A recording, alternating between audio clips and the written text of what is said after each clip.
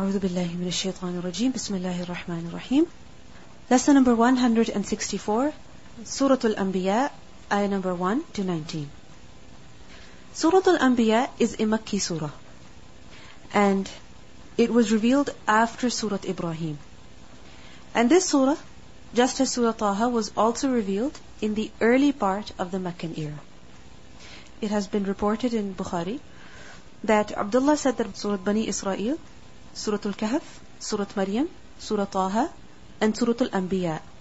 They are among the earliest and most beautiful surahs, and they are my treasure.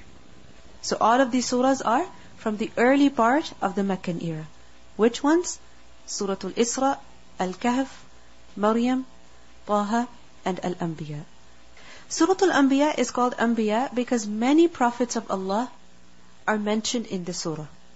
Many prophets of Allah are mentioned, not just by name, but briefly their accounts are also mentioned. And this surah has a total of 112 verses and 1186 words.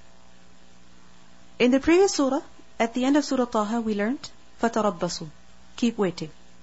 قُلْ كُلٌّ مُتَرَبِّصٌ Each is waiting. And keep waiting. And at the beginning of this surah, what do we learn? اقترب للناس حسابهم The time of the account of people has approached. It has drawn near. It has drawn close. So we see that there is a connection in the ending of the surahs and the beginning of the next surahs. In the previous surah we learned فَتَرَبَّصُوا And over here we learn اقترب للناس حسابهم اقترب is from the root letters قاف رابا and اقتراب is when something approaches, when something comes close, when it has drawn near. So اقترب للناس for people it has drawn close. What has drawn near? حسابهم their account. Which people are these? These people can be understood in the general sense that all people, for all mankind, their hisab has drawn close. Their accountability has drawn very near. And annas may also be understood as specifically the mushrikeen. Because they are the ones who are being reproached over here. Because they were the ones in denial of the hereafter. And hisab is accountability. When a person is made to question about the deeds that he has performed. And hisab, remember, is the first part of the jaza, of the recompense that a person is to receive in the hereafter depending on how the hisab is going to be, the rest of the jaza is going to be like that. So اقترب للناس حسابهم The hisab of the people has drawn near. What does it mean by this hisab? It refers to the day of judgment. That the day of judgment has come very close. It's not too far. And others have said that hisab also refers to death. Because after death, in the grave, what will happen? The hisab will begin. The questioning, the accounting will begin right after that.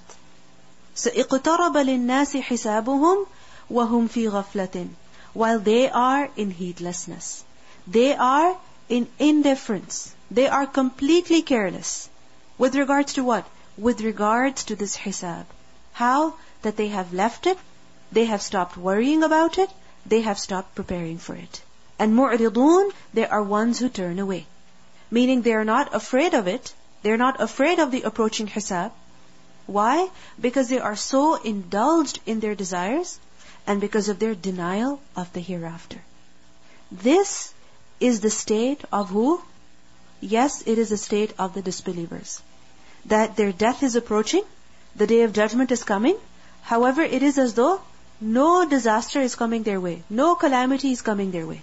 They are in ghafla, they're in negligence, they don't fear it, they're not preparing for it. Mu'ridun, they're busy doing other things.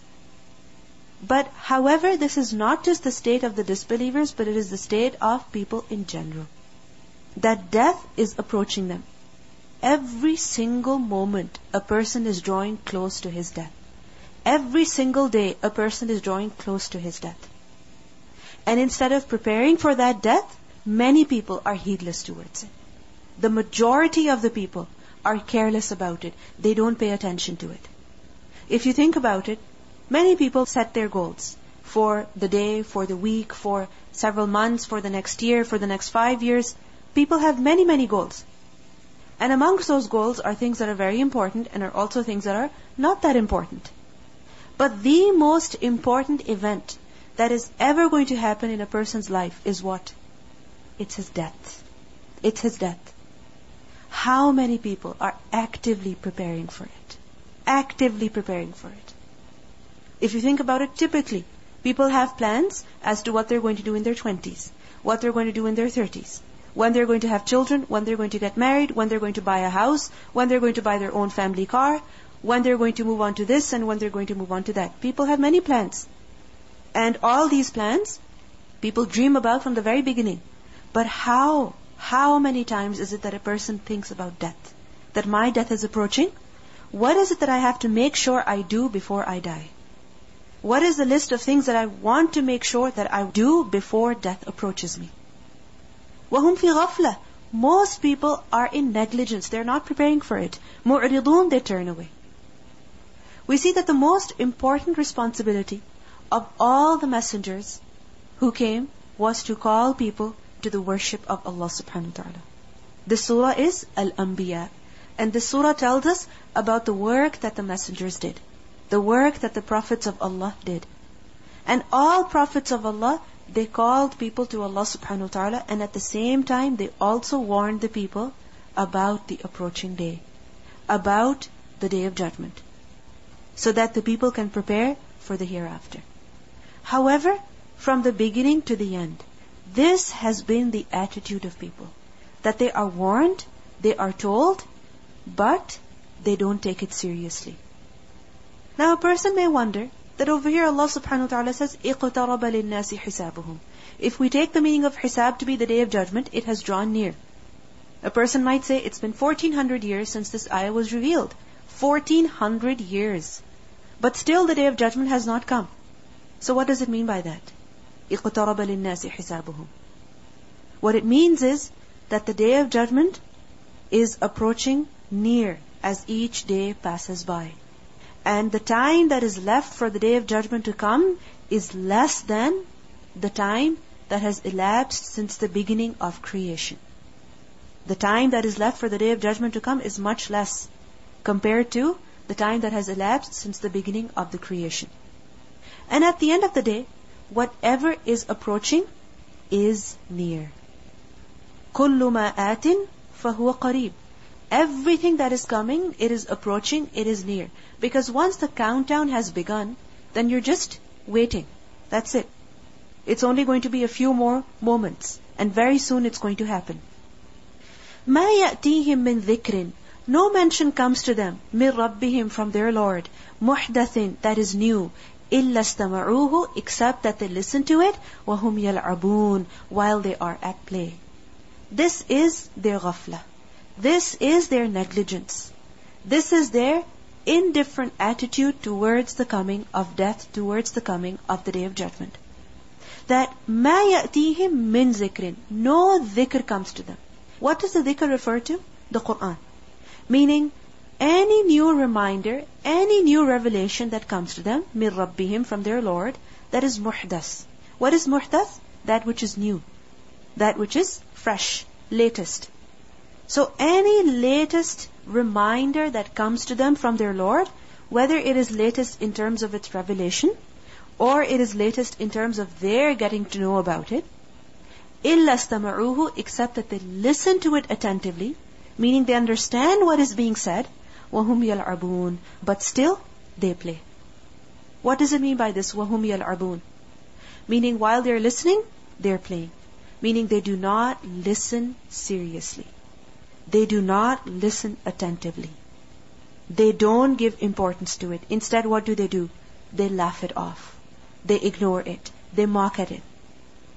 Warnings are being recited to them. Warnings are being told to them. But what happens at the same time? Instead of becoming fearful, instead of their hearts getting soft, they only increase in their play and amusement and having fun. And wahum yal'abun is also understood as that they listen but then they go and play. Meaning they do not get affected by the warnings of the Quran. They don't take any lesson from it. They go back to their play and they get busy in that. This ayah describes the ghafla and the i'rad of people That what is their ghafla? You see, sometimes people are in ghafla, people are in negligence, they're indifferent to something. Why? Because of lack of knowledge. They have no idea about what they are ignoring, what they're missing, what they are leaving. And because of that, they're in ghafla. So what's the reason? Lack of knowledge. But over here, who is being described? إِلَّا اسْتَمَعُوهُ It is those people who know, those people who are warned, but they still turn away.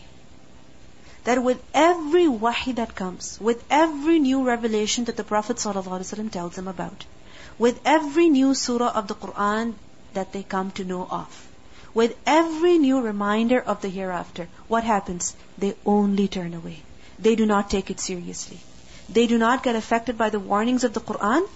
They listen and they go back to their homes, to their play and amusement, as if they didn't even hear anything. It's as if the Quran does not affect them. This is their state of ghafla. That they listen to the most scariest of ayat that describe the punishment of the hereafter, for instance. That describe the end of those people who are arrogant towards the ayat of Allah. For example, yesterday we learned about the consequence of those people who come to know of the ayat of Allah, but then they ignore them. What's the consequence of such a person? That he will be raised blind on the day of judgment. This is a severe warning. But think about it. How many of us are really affected by it? That we make a firm resolve that I'm never going to leave this Quran, not even for a day. That what I have memorized, I'm going to start revising it. وَهُمْ يَلْعَبُونَ Most people, what happens to them? They listen, maybe temporarily they get moved by it, but then they go back to their homes, they get busy in their conversations, they get busy in their play, in their cooking and their cleaning and their eating and their talking, and they forget about what they have learned. They forget about what they have heard. Because their life does not change. When somebody has really been affected by something, then what happens? Their life changes. Their thinking changes. Their ways change. Their habits change. Their routine changes. And if somebody remains the way they were before, then what does it mean? Nothing has affected them. So the majority of the people, this is their state. They come to know of what Allah is saying. They come to know of the warnings. But وَهُمْ يَلْعَبُونَ What's the reason behind that? لَهِيَةً قُلُوبُهُمْ Their hearts are distracted. This is the reason. Their hearts are distracted. Lahiya is from the root letters lam ha waw. And lahiya is ism fa'il, one that is in lahu. One that is engaged in lahu. And what is lahu?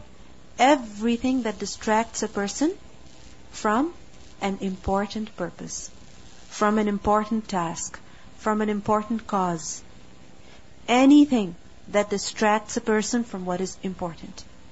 It is said, lahu kada, meaning I got distracted from an important task and I got engrossed in something else. Like for example, a person is going to prepare food towards the kitchen and all of a sudden they see somebody watching TV. And they stand by looking, oh, what's this commercial? Okay, what's going on now? Oh, there's a movie coming? Let me see and watch it. Now she was on her way to cook, and there she gets distracted by the television. This is called lahu. When someone is distracted from something that is important by something that is less important. So lahiyatan qulubuhum. This is the reason behind their heedlessness. That they are distracted from the dhikr of Allah. They are distracted from bringing about a change in their lives. You see, the actual function, the real purpose of the heart is tadabbur. It is to reflect. It is to take a lesson, to ponder, to feel, to bring about a change in a person's life. This is the real purpose of the heart. But since there is only one heart that a person has, he can only do one thing at a time. Because hearts, they cannot multitask. You can use your hands to multitask probably, that with one hand you're doing one thing and with the other hand you're doing something else. Some people are able to do that. Or with your body you're multitasking. You're listening to a phone call at the same time you're cooking, for instance. You can multitask. But your heart, remember, it cannot multitask. Which is why in salah, you can either focus on salah or you can think about other things. You cannot do both things at the same time. Similarly, either you can be listening to someone, paying attention to them, thinking about what they're saying, or you can be dreaming about something else while they're talking to you. You cannot do two things at a time with your heart. So if the heart is occupied by something that is less important, how will it be able to focus on that which is more important? لاهية قلوبهم Their hearts are distracted by this dunya. And they're distracted from the dhikr of Allah. This is why they are in ghafla. This is why they are heedless. This is why they don't take a lesson from the reminders that are given in the Quran. This is why they are not preparing for their death, for their hereafter. So what's the reason? If you think about it, the problem begins with what? With not preparing for the hisab. Then the reason behind that is ghafla. Then the reason behind that is lahiyatan qulubuhum.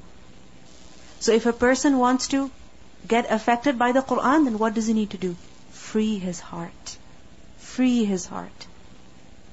If your heart is occupied with other things, with the love of other things, with the concern of other things, then you cannot be concerned about your death You cannot be concerned about bringing about a change in your life. Because your heart can only do one thing at a time. It's either the Quran, it's either your death, or it's something else. Now choose that which is more important. وَأَسَرُّ النَّجْوَى And they conceal the private conversations. Who? The people of Mecca, the mushrikeen. They conceal the private conversations. Notice najwa is a private conversation, it is a confidential talk which is not publicized to everybody. And when the word asarru is used, what does it show? That how much they try to conceal these conversations. Who tries to conceal the private conversations? Alladina zalamu. Those people who do zulm. And what's the zulm that they're doing? Shirk. So what is it that they talk about in the private conversations? That hal that illa basharun mithlukum. Is this man not except a human being just like you? Is this, meaning Muhammad sallallahu alaihi wasallam, not a human being just like you?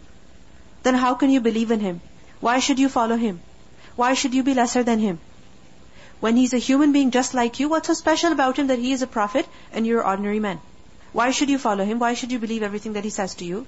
هَلْ هَذَا إِلَّا بَشَرٌ مِثْلُكُمْ أَفَتَأْتُونَ السِّحْرَ They say to one another that would you approach magic وَأَنْتُمْ تُبْصِرُونَ while you are aware?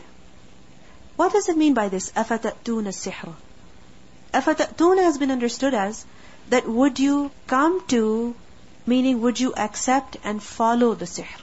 meaning أتتبعون السحر أفتأتون السحر meaning أتتبعون السحر Would you follow magic while you see that it is clearly magic? Secondly, afatatuna sihra has been understood as that would you be affected by it? Would you come under its effect? Would you come to listen to it? Would you approach in order to listen to this magic? What do they mean by this magic? The Quran, what the Prophet ﷺ was reciting to them. The dhikr, the muhtas, the dhikr that he was reciting to them.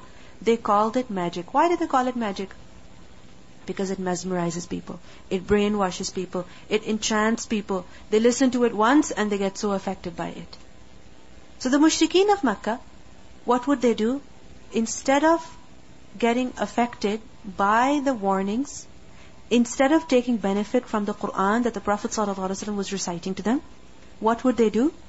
they would sit in private conversations and they would discuss as to what they should say about the Prophet ﷺ.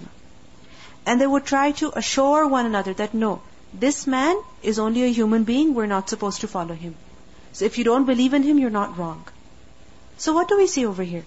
That their ego, their pride, their arrogance, it prevented them from believing in the Prophet ﷺ that why should we follow him when he is only a human being, when he is an ordinary person? In fact, he is lesser than you in worldly terms. So why should you follow him? Just as today even, many people they object believing in the Prophet ﷺ and following him. Simply because they say that he was a human being who lived 1400 years ago in the desert of Arabia and today we are so advanced, we're so knowledgeable, You know, we're in a technological age.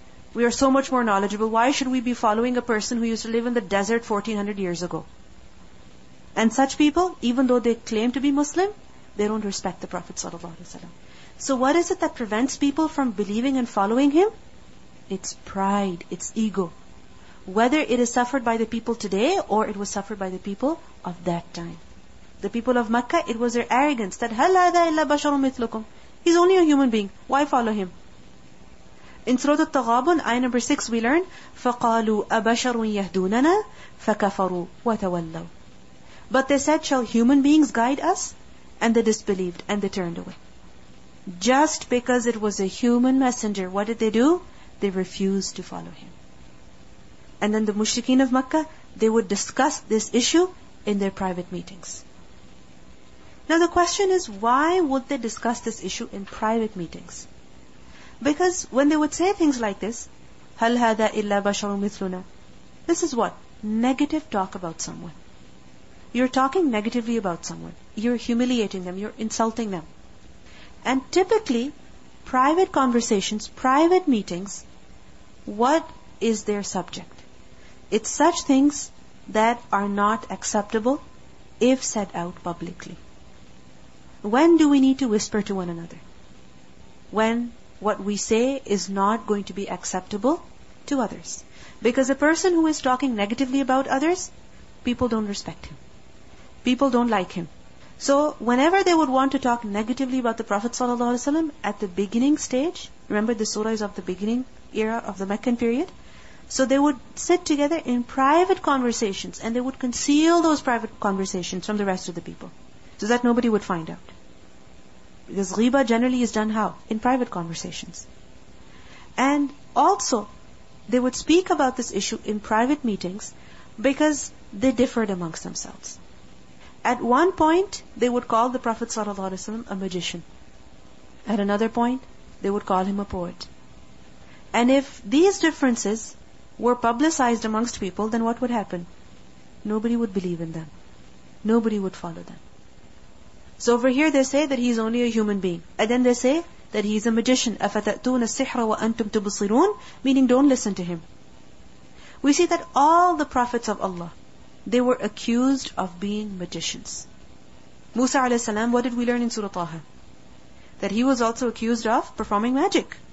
We learn in Surah Al-Dhariyat, ayah 52, that كَذَلِكَ مَا أَتَى الَّذِينَ مِنْ قَبْلِهِمْ مِنْ رَسُولٍ إِلَّا قَالُوا سَاحِرٌ أو مجنون. Similarly, there came not to those before them any messenger, any messenger, except that the people said, a magician or a madman. And even today, what happens? If somebody begins to study the Quran and their life begins to change, what do people say? It's as though you have been brainwashed. It's as though you have been mesmerized. You have been enchanted.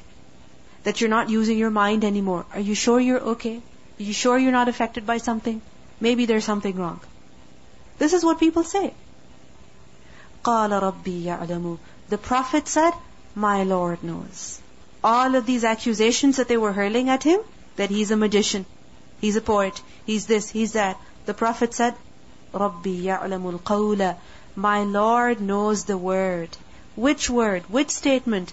That is uttered فِي السَّمَاءِ وَالْأَرْضِ That is uttered in the sky or the earth. Any statement that is uttered, that is voiced out, that a person says, whether it is said in the earth or it is said up in the sky, who knows about that statement? Who has heard that statement? My Lord has heard it. So whether you secretly, in your private meetings, you say such things about me, or you go and say such things about me publicly, my Lord knows. وَهُوَ السَّمِيعُ الْعَلِيمُ And He is the hearing and He is the knowing. He has heard what you have said, and He knows of your state, and He knows of my state as well. So what do we see in this ayah? That people can say whatever they want. People can hurl whatever accusations at you, whether at your face or behind your back. Because sometimes people don't have the confidence to say something on your face. What will they do? They will go and talk to others about it. At that time, how should you comfort yourself? Allah knows. He has heard. The angels have written. The angels have recorded, and on the day of judgment, justice will be established.